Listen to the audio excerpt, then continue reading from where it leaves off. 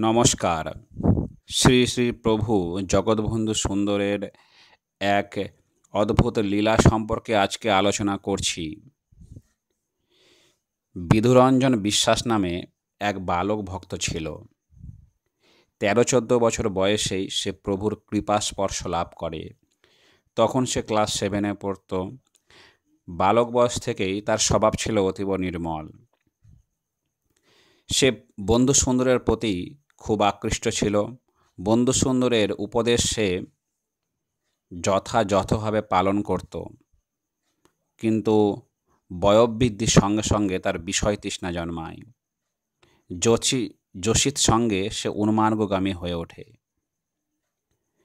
তখন বন্ধু সুন্দর তাকে লিখে দেন, বিধানী, তুমি গৃহী হইও না। গৃহস্থ সংস্রবে তোমার মৃত্যু সত্য যেন। যোশিত মায়া মনশিস ত্যাগ করো। হরিনাম নিষ্ঠা করো। প্রথমে বলা হয়নি যে বিধানী প্রভু বন্ধু সুন্দর বিধুরঞ্জন বিশ্বাসকেই বিধানী বলে ডাকতেন। তাই তিনি লক্ষ্য করেছিলেন বিধানীর ভাগ্যে কী আছে। যোশিত অর্থাৎ নারী নারী সংসর্গে বিধানের মৃত্যু অবধারিত। তাই তিনি বিধানীকে আগে থেকে সতর্ক করে দিয়েছিলেন। কিন্তু বিধানী শোনেনি। আসলে বিষয় বাসনা যখন প্রবল হয়ে ওঠে, তখন ভগবানের উপদেশ তুচ্ছ বলে মনে হয়। শ্রীকৃষ্ণের উপদেশ যেমন, দুর্যোধনের কাছে ব্যর্থ হয়ে গিয়েছিল তেমনই বিধানের ক্ষেত্রেও তাই হয়। বন্ধু সুন্দরকে পেয়েও বন্ধু সুন্দরের উপদেশামৃত শ্রবণ করেও সে তুচ্ছ বলে মনে করেছে। তাই একদিন এক বালক ভক্তকে দেখে প্রভু বন্ধু সুন্দর বলেন যে, বিধানের আয়ু আর তিন মাস। এই বালকেরা যাতে তার সঙ্গে সবসময় থাকে এবং তাকে হরিনাম শোনায়। কিন্তু তিনি এও বলে দেন যে তারা থাকতে চাইলেও থাকতে পারবে না, কারণ বিধানী নিজেই থাকবে না। মৃত্যুর এক মাস আগে থেকে তার এই সমস্ত লক্ষণ প্রকট হবে। বিধানী কোনো ভক্ত সঙ্গ করবে না, প্রভুর কাছেও আসবে না, হরিনামও করবে না। আর তখনই বুঝতে হবে যে তার মৃত্যুর দিন ঘনিয়ে আসছে। প্রবরে ভবিষ্যৎবাণী অক্ষরে অক্ষরে সত্যি হলো। বিদানী কলেরায় মারা গেল। তারপর দু বৎসর অতিক্রান্ত হল। দু বৎসর পর একদিন প্রভু শ্রী অঙ্গনে পদচারণা করছিলেন। শ্রী অঙ্গনে চারপাশে তখন জঙ্গল ছিল। সেই জঙ্গলের কিনার ধরে প্রভু বেড়াচ্ছেন।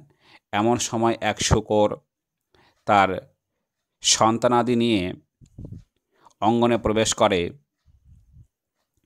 এবং ধুলাই গড়াগড়ি দিতে আরম্ভ করে।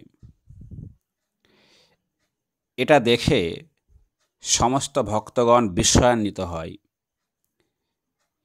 মিনিট তিনেক এভাবে চলার পর শুকর তার সন্তানাদি নিয়ে চলে যায়।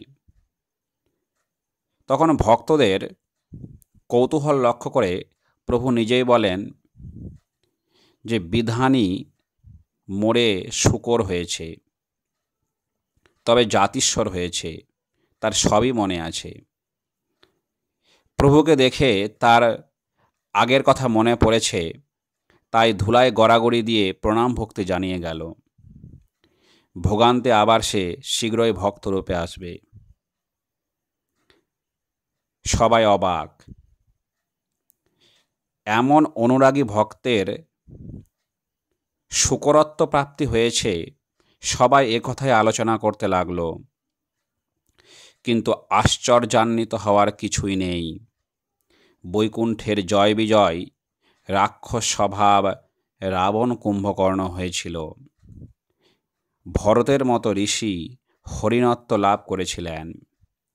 শাস্ত্রে এ জাতীয় দৃষ্টান্ত আমরা অনেক পাই। বাস্তবে যারা ভগবানের লীলার সঙ্গী, তাদের ঊর্ধ্ব ও অধগতি ভগবানের ইচ্ছাতেই হয়। বিধানের যে রকম তীব্র বিষয় বাসনা দেখা দিয়েছিল, তা চরিতার্থ করতে মানবদেহ হলে অত্যন্ত তিরিশ বছর সময় লাগত। এ সময় নতুন কর্ম সঞ্চিত হতো কিন্তু শুকরদেহ হওয়ায় সেই ভোগ চরিতার্থতা দু বৎসরে হয়ে গেছে, আর এ সময় তার নতুন কর্ম সঞ্চিত হয়নি। সুতরাং তাকে মানুষ না করে পশু করার মধ্যে একটা করুণার ভাবও আছে। বাস্তবে শ্রীহরির সমস্ত কার্যই করুণা প্রণোদিত, আর আমরা ক্ষুদ্র জীব, তার অর্থ বুঝতে না পেরে ব্যর্থ জল্পনা করে কল্পনা করে থাকি।